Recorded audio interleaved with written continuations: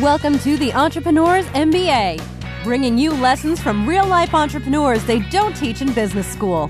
Here's your host, business coach and marketing strategist, Adam Kipnes. Hey everyone, welcome back to the Entrepreneurs MBA. I am your host, Adam Kipnes, learning lessons from everyday entrepreneurs that you're not going to learn in business school. I'm super fired up for uh, today's guest. I think there's a lot that we're going to learn from life, business, and athletics all wrapped into one. Uh, my next guest and I met at Eric Swanson's Habitude Warriors Conference last week in Scottsdale. That's habitudewarriorconference.com. He's got another event coming up in DC during the summer and then one in uh, Scottsdale again in August. So definitely check that out. Um, but I saw this gentleman speak. We met, and I knew his story um, will resonate really well. He's a two-time Olympian, four, uh, sorry, back-to-back USA national champion in gymnastic, gymnastics, world all-around bronze medalist, captain of the 2012 Olympic team, six-time NCAA champion, and that's just what he's done in the gymnastics world. He was also an American Ninja Warrior finalist for those of you who watch that awesome show. He speaks on stages now all over the world and telling his story and what it means to get to the top of the world in gymnastics and also attribute that to the business world. May I introduce to you Jonathan Horton. Jonathan, thanks for being here. Hey, Adam. Hey, thanks so much for having me on the show. Uh, pumped to talk to you a little bit about myself, share my story with you and, and our listeners. And for those listeners out there that haven't heard of me, don't know much about gymnastics, maybe Ninja Warrior, everybody feel free to go check me out on some of my social media links. You can uh, find me on Instagram at jhorton11. On Twitter is j underscore horton11. And then feel free to go check out my website at jonathanhorton.net just to put a name to a face. That's awesome. Uh, definitely encourage everyone to go out and, and just learn more and, and see what he's doing. He's doing some cool things and uh, just the background of being a champion in a sport and to take it a, little away from business, but um, into just being super successful. How did you, or what do you attribute your your focus and your drive to get to that level of success? Is that something you're born with, or is it something that you had to work on daily? Well, you know, I actually feel like it's a little bit of a combination. I do think that there's a um, you know, there's there's definitely something that some people just have. It's like they're born with this spark, but I 100% believe that you can develop the uh, the mindset to become a champion at whatever it is that you're doing, whether you're an entrepreneur, um, you know, out chasing real estate or an athlete. Uh, you know, for me, I had to build myself, you know, mentally and physically throughout my sport. It wasn't always easy and uh, you know, it, it took me a really long time to accomplish my goals. You know, I did gymnastics for 28 years, and uh, it took every single ounce of energy, mentally and physically, to get where I wanted to go. That's uh, amazing in that you were that you were able to do it for that long and keep up the mental stamina and the drive. Um, did any sort of tips that, that you used when when you were feeling a little bit down or when things weren't you just didn't want to go to the gym that day? Anything yeah. that you used in order to, to to get yourself up? Well, I'll take you back just kind of the beginning of my story a little bit. You know, I um, I got started in the sport when I was four years old, and uh, you know, kind of a wacky story. I actually, my mom uh, lost me in the middle of a Target department store. I had actually I climbed a uh, a 25 foot support beam in the middle of the store and kind of you know wowed a bunch of people and uh you know it took like 10 15 minutes for everybody to find me at the top of that thing but you know, I had I had a little bit of natural, I guess, I for lack of a better word, freakish ability, and uh, my parents ended up putting me in gymnastics. But you know, when they put me in the sport, that that ability that they I guess they thought it wasn't quite there. I wasn't the most talented kid in the world, and um, you know, I, I really struggled to learn the sport for for a very long time. I didn't actually win my first competition until I was almost 16 years old. But the big moment that changed everything for me was actually when I was 10. Uh, when I was 10, I remember watching my very first Olympic Games, and I watched the women's gymnastics team win the gold medal, which was beyond exciting. I remember watching Kerri Strug do a vault on a broken ankle to secure the gold medal. and it just it inspired me. It made it it created a why for me. I was I I told myself while I was watching that, just glued to the screen, hey, that's that's what I'm going to do. Like I, people are out there winning medals and becoming the best in the world at their at their sport. That's really really cool. Uh, I mean that that's got to be available to me, right? I just need to go figure out how to get it done. And so anytime I was struggling, you know, the best tip I can give people is I had a visual why. I had a visual goal and a dream. I had seen something else that someone did that I wanted to do. And anytime that I started struggling or, you know, failing or wanting to quit, I thought back of that visual moment. And I have people ask me all the time this same question How do I stay inspired? How do I stay motivated? And I say, if you don't have something to look at or to watch, something that kind of resets your the fire in your in, in your belly, you can't motivate yourself. You're just you're you're going blindly throughout life, throughout you know world, and and you don't know exactly what you want. I knew exactly what I wanted. I knew what it looked like. I knew what it was going to feel like. I knew what other people were going to see it as, and I just it's almost like I could taste it. I could taste that that gold medal, that Olympic medal, and it's because I had seen someone else do it. Now I just need to figure out how they got there.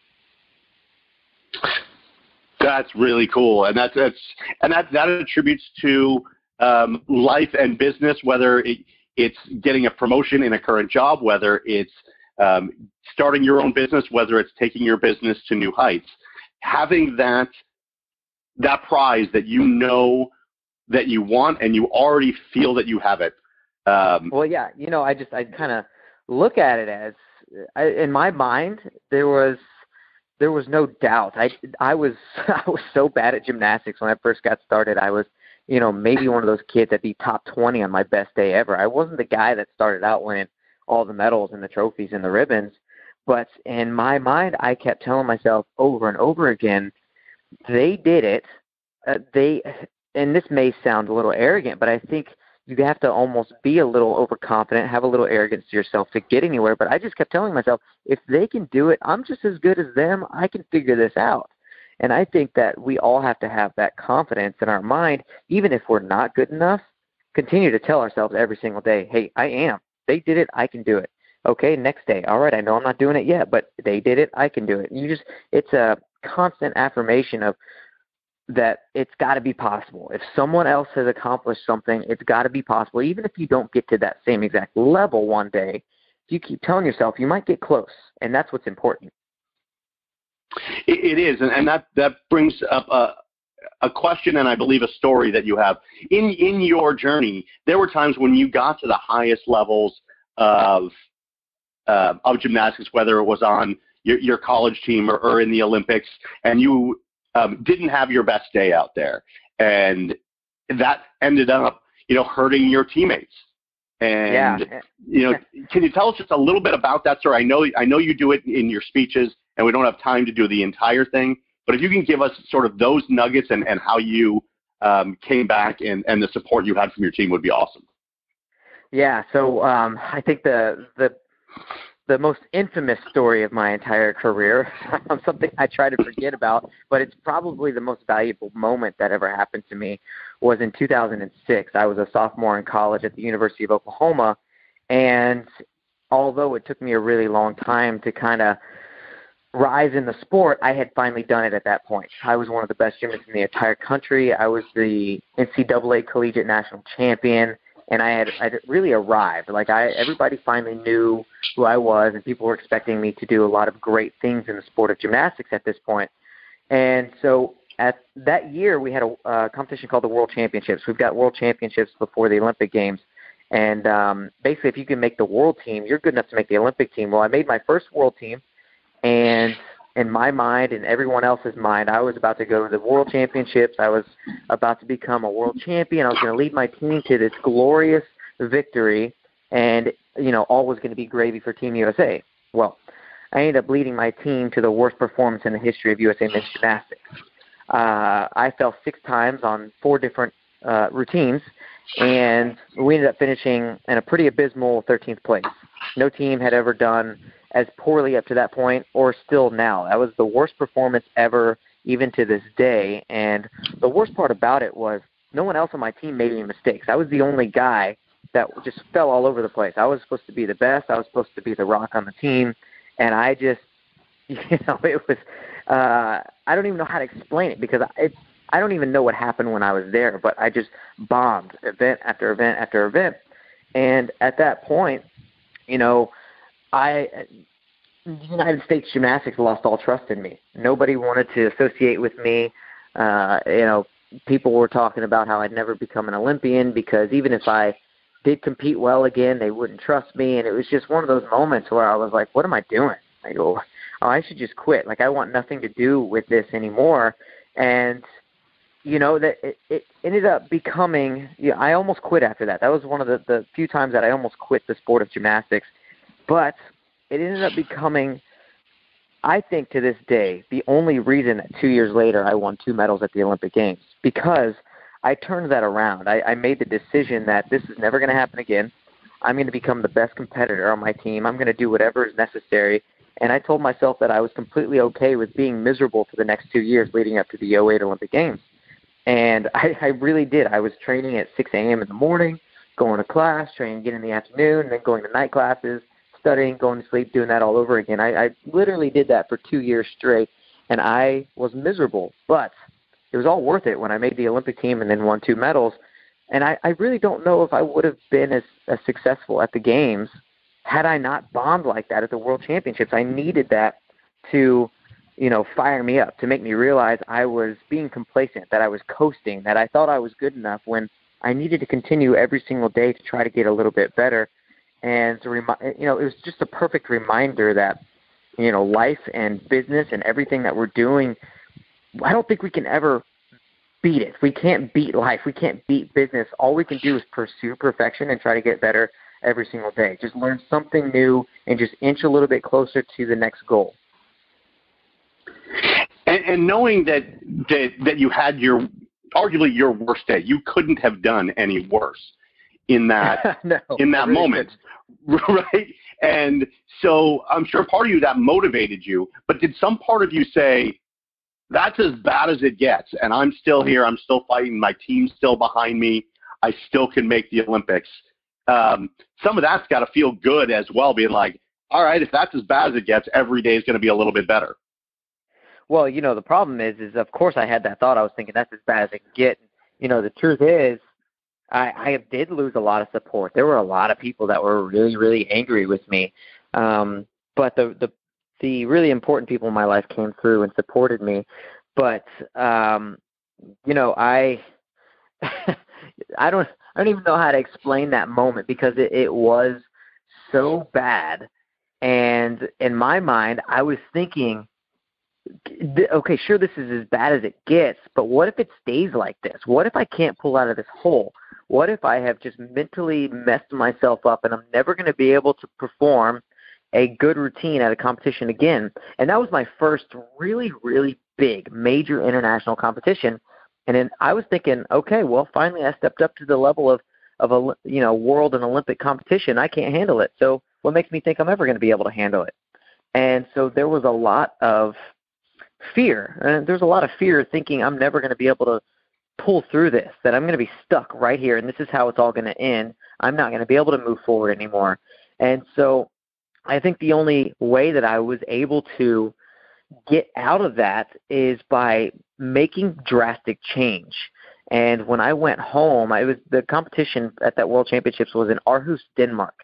And as I was on the plane flying home, I remember just telling myself, it's time to make drastic change. I need to take action to do something else.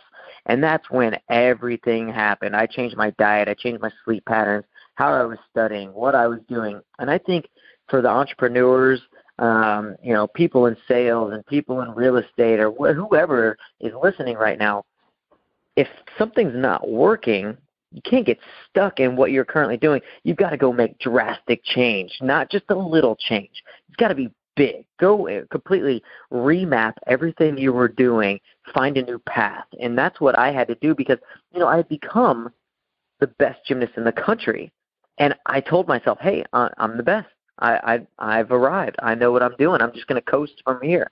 And as soon as I started coasting, that's when I went and bombed at the biggest moment. And so I just realized at that moment, okay, time to go home. And there's, I'm not, I'm putting my foot on the gas pedal and I'm slamming it to the ground. And I'm going to keep on trying to improve every single day because this can't happen again. We we fall, we fail, we we have a miserable moment like I had, and it's it's a moment like that that makes us realize we can never let up. We just have to keep pressing forward, and I think that every single person is going to have a moment like that in their lives. You just have to decide what are you going to do? Are you are you going to quit or keep coasting or or accept the outcome or put the pedal to the metal and go go harder than you did before? And, and in making that decision and, and making those changes, who who did you rely on? I mean, you, you've had coaches for your entire gymnastic career. Was it a coach that you sat down with and said, "I need to change all of this"? Was it um, a friend, a family member? Who did you rely on in order not only to help you make that decision, but to keep you accountable to actually doing it? Because there's only so much we can do ourselves. Oh yeah, uh, D, all of the above. um, I, you know, I uh, I had to rely on everybody, and I threw myself this big pity party. I felt really sorry for myself for a while. I didn't want to talk to anyone. I thought I could figure it out, but eventually, uh, I I remember like it was yesterday. I called my coach. I said, Coach, let's get together, and his name is Mark Williams. He's one of the best coaches, uh, you know, to ever grace the planet for gymnastics. And uh, I said, Mark, let's sit down and let's map this out together. And that's what we did. We I was in his office. I pulled my laptop open open and we just I started typing. Hey, here's what here's the changes that need to be made. But you know, not only did I have those meetings with my coach, sat down with my you know who's now my wife, my my fiance at the time. I um, you know, so I talked. My wife's name is Haley, so I sat down with Haley and tried to figure out hey, what can I do differently at home? How can I eat better? How can I sleep better? How can I just make sure I'm doing everything right for this goal because I didn't want to, at the end of the day, have one regret. I wanted to make sure that even if I didn't make the team, or even if I made it and didn't do well, that I could look back and think, hey, I, I did everything I possibly could. I have nothing to be upset about. And, you know, so I sat down with my wife and my family and um, friends and just had people help me. And I, I asked for encouragement. Hey, when look, I, I need you guys to just back me right now, okay? I know I'm about to do some crazy stuff. I'm about to be obsessed with this gymnastics thing for a while, but I just need you guys to encourage me and, and understand I'm pursuing something right now that is absolutely insane that very few people ever, uh, you know, go for.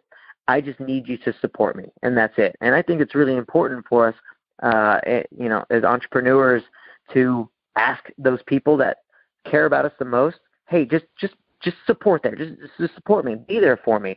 Do, you know, I know what I'm doing is crazy, but just love on me a little bit, and I promise this is going to pay off in, in the long run. And so I needed everybody. Uh, I needed everybody in my life to just understand what I was trying to do, why I was doing it, why it was important to me. And you know, luckily, I had some great people, you know, that that were in my life, and they helped me out. And in the end, every single bit of it was worth it. Like I said, when you when you do it all right and when it does pan out in the end, it's all worth it. That that's amazing, and and you proved it because two years later you're in the Olympics. Six years later, you're the captain of, of the the men's um, Olympic team. That's mm-hmm. I mean that's a huge leap, not only in stature, in coming back from um, you know your, your worst gymnastic day, but that's other people were relying on you to support them when you're chosen as captain. Yeah, yeah, and it was definitely a, a role reversal because you go from the the guy that's green on the team that people are like, ugh, we don't know if we trust this guy at all. And you know, in, in 2008, I, I I turned it around so much. Whereas in 2006, I had the worst performance in history, and then in 2008, I had people tell me that was one of the greatest performance in history. Um, and so, you know, for me, I was the guy that I just wanted to lead by what I was doing, lead by example. But then I had to become a vocal leader, and I'm no longer the, the guy that's green on the team. I'm I'm the expert. I'm the I'm the veteran, and you know, this isn't going to sound old to our listeners, but in 2012, I was 26 and I was the grandpa of the team. You know, gymnastics isn't a sport of longevity. I think my next oldest teammate was 19. and um, you know, so it's a 26 year old and a bunch of you know 19 year old guys, and they're like wide eyed at the Olympics with 40,000 people in an arena, billions of people around the world, cameras in their face, and they're like, dude, what do we do? And so it was my job to kind of encourage them and and calm them down and say, hey, look, I know this is scary, but we got this. Everybody just you know relax and do your job. Just you know follow me. Just just I've done this before. Just just follow me and yeah, you know, I think we definitely go through different phases of our lives where sometimes we're the leaders, sometimes we're the followers, but I think we all have to understand how to how to play both roles. I think it's really important, especially as we start new chapters in our lives. Sometimes we gotta we gotta watch what other people are doing and and surround ourselves with with success and say, hey, I'm I'm gonna do exactly what that person's doing until I become that person, and then you have to understand you got to give back because there's going to be people that are going to be looking to us wanting to know how we did it. And you simply have to just show them, hey, I'm doing what you're doing. I, I, I followed someone for a while until I became who I am. And, you know, so I, that was always my, my mindset is, you know, just, just be there for people and just encourage them and also help them understand I went through exactly what they're going through. I, I love that point because I was thinking to myself, you know, my, my next question is going to be, how do you tell the folks out there that that maybe don't think they have the natural ability to be Olympic athletes. And I'm putting Olympic athletes in in air quotes because it could be whatever career or business they are that yeah. that they want to get to the top of. And and they're like, well, I I can't do that. He's got something that I don't have. But you just said it right there. It's following the path that someone else laid out for you, and yep. and seeing it. So I love that you said it because you answered the question before I asked it. But that leads me to a, a final question. We've, um, you know, in the Olympics, you you saw Kerri Strug and and you followed sort of her path. Obviously, a little bit differently, but there are gymnastic meets, and and then there's your high school team, and then there's your college team, and then it's getting involved in, uh, you know, the USA team, and there's a path to follow that. Um, if you're of single mind, single focus, you can follow that path, and you did. Now you are in the business world, you're getting clients who you, you, you coach and consult with. You're getting on stages and, and you're telling your story. You're working on your autobiography that's going to be part of this story that'll, that'll go along with your, your presentations and you're putting together a course for young athletes. That's a lot of things to do. So you went from singular focus to now you've got five or six different focuses. You went from a path that was pretty well scripted in the gymnastics world to now creating a path of your own where you have to find people that have done it. How are you making that transition and what have you done that's made you so successful in it thus far? Yeah, no, so it's a, that's a great question and it's been an interesting transition for me because uh, you're right. I was so, you know, such a singular focus. I was, you know, just tunnel vision on the goal. But you know, for me, I still kind of only have one goal. My goal is to take my experience as an athlete and to inspire people with that experience in whatever they're doing. I, I've just found that I can relate to people, not not just a few people, everybody. There because I there is no I really don't feel that there's such thing as an overnight success. It just doesn't really exist. And there are people that hit success quickly or and people always bring up the lottery. The lottery is is not real life. But anyways, you know, I don't believe that anything happens fast. And I just want people to know from my story and my book that I'm writing and everything else that I'm doing that it's okay to struggle. It's okay for things to take a really long time. And one of the points that I really like to share with people is I feel like we've kind of got a little bit of a, a sickness. It's a plague in our society right now, and it's called instant gratification. Everybody wants everything now. They, you know, with social media and Google and YouTube, it's like the the internet. It's it gives you what you want right away when you want it. The one thing it doesn't give you is it doesn't give you, uh, you know, freedom. It would, well, I mean, freedom is financial freedom and success. You can go and look up anything and get the answer to your question right away. But people have started to feel like, hey, I should be able to do everything right now and be able to get everything done fast. And I want people to see, hey, even an Olympian struggled for a really long time. I have more second place finishes than anyone in history of USA men's gymnastics. I led my team to the worst performance in international history. I fell, I failed, I did all of these things, but in the end, which took me 28 years, I finally got where I wanted to go. And so now at this point, sure, I, I want to write a book. Well, I've got people that have written books before that are helping me. Again, I'm going to follow their path. And I've gotten into the speakers world. I've been speaking for about eight years now, but I'm not the best speaker out there. But I tell you what, I've been studying and researching and reaching out and trying to surround myself with some of the best speakers. And I, I'm I'm writing curriculums and I've got programs that I'm helping people with. I'm doing coaching, but I'm not I'm not making my own path. I'm simply following someone else's and in a way, I you know someone may have walked theirs. I'm running or skipping. You know, I may be following it, but I'm still doing my own thing, doing it my own way. And I think that's what we have to do. There isn't a single profession, there isn't a single person on the planet that has ever walked a path to success that hasn't already been laid out before them. And I, you know, I think of a guy like Jeff Bezos, uh, the CEO of Amazon. You know, sure he's had massive success, and people can say he's done something that no one else has ever done but I guarantee he surrounded himself with other successful people that helped him and showed him, hey, here's how to run an internet company. Here's how to sell books, which that's all he started doing in the beginning. Here's how to do this. Here's how to do that. And he listened and he learned. But still, he's he he he just kind of he figured out how to walk or run or take that path in a different manner. And so that's all I'm trying to do. I'm not doing anything. I'm not reinventing the wheel. I'm just doing something different and unique in a way that's already been done, and I want people to experience it from my view, from my world, and hopefully it will inspire them to do their to do the exact same thing. Uh, that, that's awesome, and for everyone listening, um, listen to that last two or three minutes that that he just talked about. Um, you can forget about everything that he did in his career leading up to it if that's not important. But that last two or three minutes about following the path, about learning from others, about knowing that the most successful people in the world still followed somebody else's path, put their own spin on it, put their own way of doing it, maybe tweaked it a little bit to to their personal needs, but they still followed what other people were doing, whether it's writing a book or whether it's getting on stages or whether it's getting more clients or whether it's forging your own business or taking to the next level. Um, I really appreciate that. And last thing for me, uh, you were 10 years old. You saw Kerri Strug in probably one of the most memorable, iconic moments in at least American Olympic history.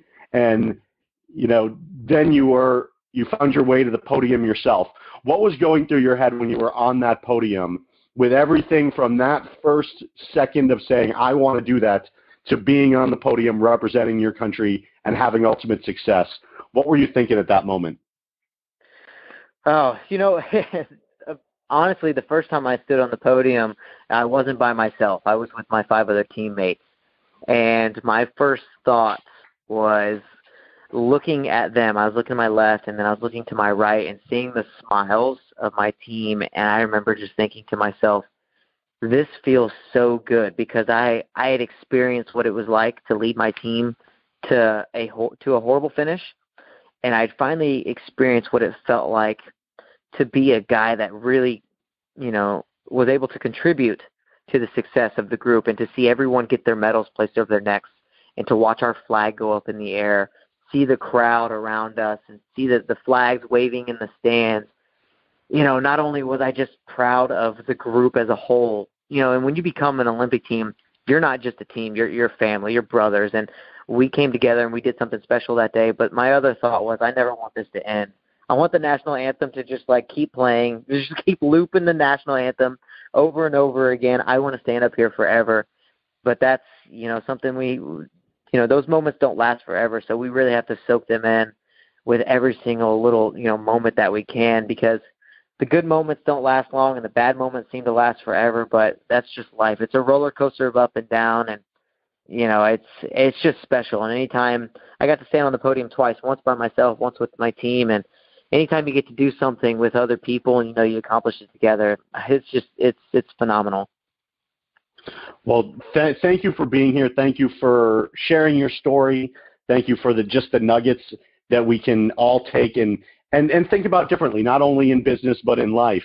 Um, you really laid it out for us, things that we can do a little bit differently and and uh, enjoy the highs and and learn from from our lows. Um, so appreciate you being here. Definitely, if everyone listening, um, check out uh, Jonathan on social media. Check out his website, and obviously for your local events, corporate events, um, he's a phenomenal speaker. You you heard some of the story. Um, there's more to it that is just uh, so inspirational and motivational. So uh, encourage you to reach out to him. And Jonathan, thanks for being here. I really appreciate it. Yeah, thanks so much. Had a blast. Great. You've been listening to the Entrepreneurs MBA. Download Adam's free book, How to Make More Money in Your Business, at www.freebookfromadam.com.